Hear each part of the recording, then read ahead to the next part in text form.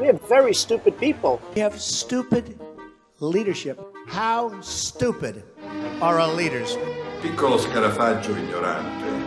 Io boffonco quanto mi pare e piace, siamo in democrazia. E poi come principio cardine De Santi spessatamente. Fatti i cazzatori, va. Fra le quasi 7000 lingue parlate ad oggi nel mondo, difficilmente si rintracciano idiomi che non eh, esibiscano un repertorio di espressioni eh, specificamente deputate a svolgere una particolare funzione, insultare gli altri.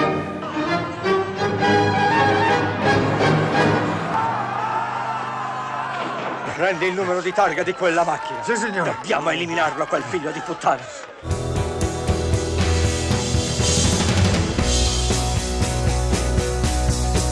Che nella lingua parlata si stia osservando un significativo aumento nella frequenza d'uso di espressioni ingiuriose è tutto da dimostrare. Gli esseri umani si insultano da sempre, sarebbe ingenuo guardare al passato con nostalgia rimpiangendo un piccolo mondo antico in cui eh, le conversazioni erano scandite da ossequi e complimenti.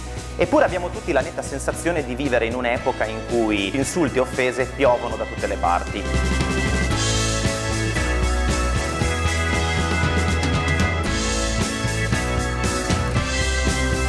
Per quale motivo possiamo ritenerci abitanti dell'era d'oro dell'ingiuria? I motivi sono due. Eh, il primo risiede nel ruolo strategico che le espressioni di insulto hanno iniziato a giocare da qualche anno a questa parte nella cornice della discussione politica e del confronto politico.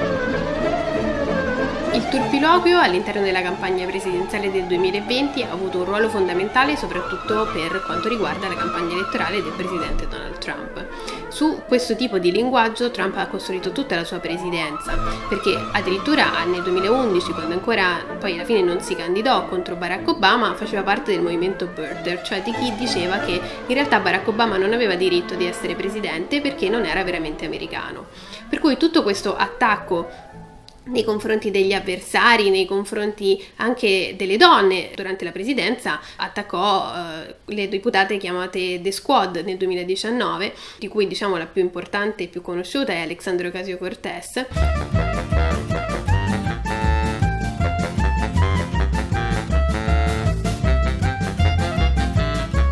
Che mai un'espressione di insulto è uno strumento di delegittimazione dell'altro e di attivazione di processi di costruzione del consenso e del, e del dissenso. Il fatto che Trump abbia attaccato apertamente le, le, persone di religione islamica oppure che abbia parlato del coronavirus come del Chinese virus più volte, eh, diciamo, incoraggia un certo tipo di elettore di estrema destra a sentirsi autorizzato a utilizzare qualsiasi tipo di linguaggio nei confronti di chi reputa inferiore.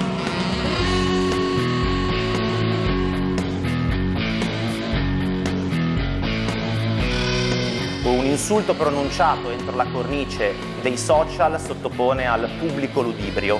I social straripano di trolls e haters, membri delle comunità che o per puro divertimento o forti dell'anonimato si abbandonano a raffiche di schermi e insulti e in tal senso i social media costituiscono un terreno particolarmente fertile per il proliferare del linguaggio denigratorio.